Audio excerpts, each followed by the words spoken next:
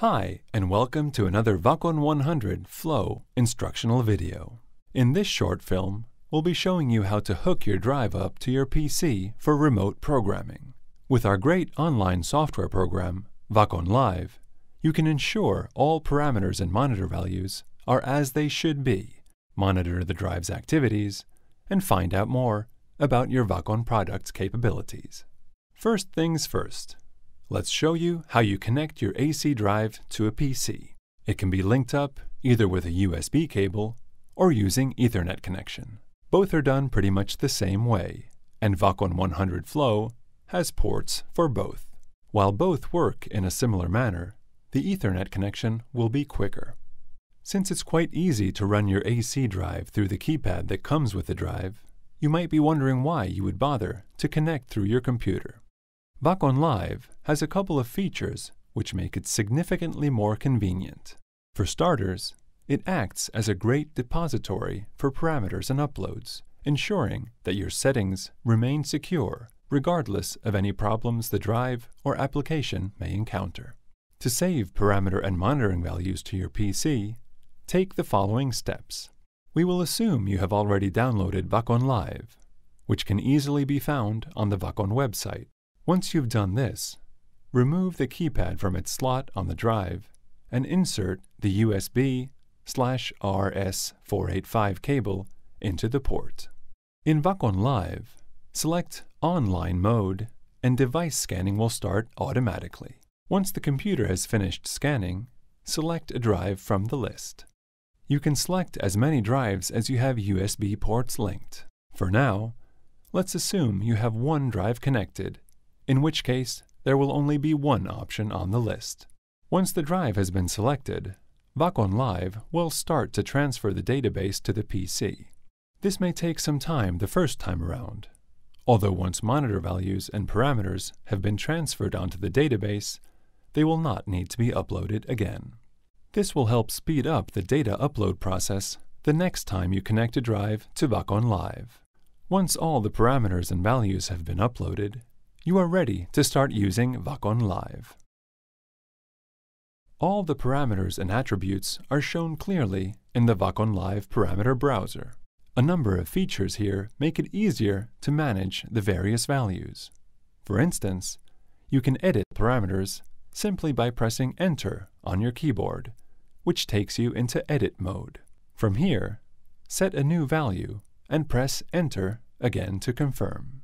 Alternatively, you can simply type in the name or ID number into the search bar at the top of the screen.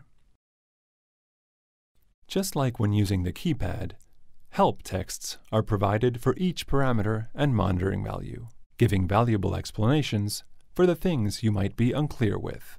For more in-depth guidance, you can access Help by pressing F1. This will open up PC Tool Help which will give information on each window, explaining what you can do and what icons mean. You can convert this content into a PDF for printing or future reference. Help also allows you to make sure you have always got the latest version of Vacon Live. Simply click on Check for Updates to see whether a new version is available.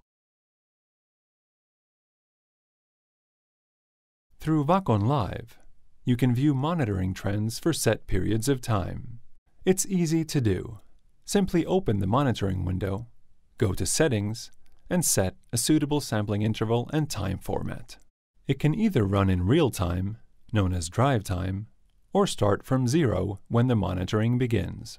To monitor a number of separate values at any given time, simply click Add in the bottom left corner of the screen and select the parameter or value which you wish to monitor from the list displayed. You can also send signals from parameter window to monitoring window, either by clicking with the right button on your mouse and selecting a pre-existing monitoring window from the list, or by creating a new window.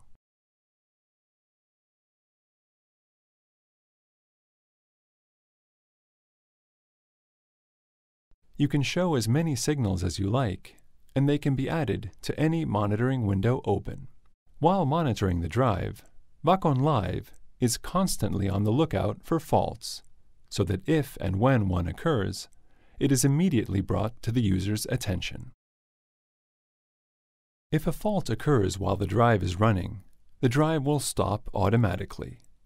The fault will immediately appear in the status bar and can be identified by the fault code number, while the fault ID number will help give more information about status of the fault. The fault diagnostics window will open automatically.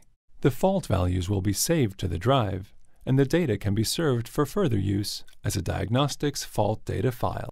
All faults are saved in fault history.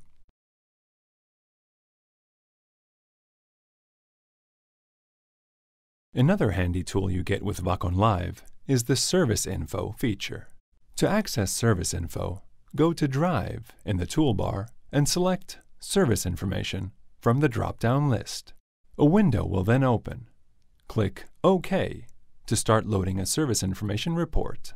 You can add user comments and press OK, or, alternatively, simply click No Comment. Once all the data has been gathered, a pop-up dialog will appear where you can name the service information file and either locate on disk or send via email according to your needs. The service report will be saved to your hard drive as a file, which you can then open in the location you desire.